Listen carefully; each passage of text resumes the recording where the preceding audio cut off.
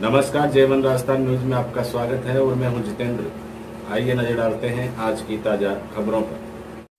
खबर छोटी खाटू से है जहाँ शहर में रेलवे स्टेशन के सामने द्वितीय इंदिरा रसोई का शुभारंभ समारोह पूर्वक हुआ। आ, आपको बता दें कि मुख्य अतिथि सरपंच रणवीर सिंह राठौड़ अध्यक्ष पीसीसी सदस्य डालमचंद धारीवाल जिला प्रबंध हरिनारायण नरेंद्र दस्तुलिया वार्ड पंच पृथ्वीराज गिमारिया सुरेंद्र मेघवाल पूर्व वार्ड पंच माणक मेघवाल ग्राम सहायक रफीक खां सेरानी ने फीता काटकर विधिवत शुभारंभ किया। सरपंच रणवीर सिंह ने बताया कि राज्य सरकार द्वारा इंदिरा रसोई जगह जगह शुरू करवाई जा रही है। इंदिरा रसोई में प्रति थाली आठ रुपये में मिलेगी, जिसमें कोई भी गरीब व्यक्ति भूखा नहीं सोएगा।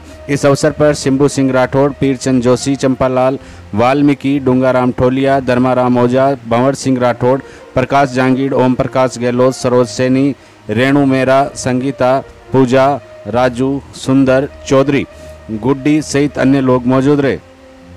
छोटी काटू से गौतम सोनी की विशेष रिपोर्ट।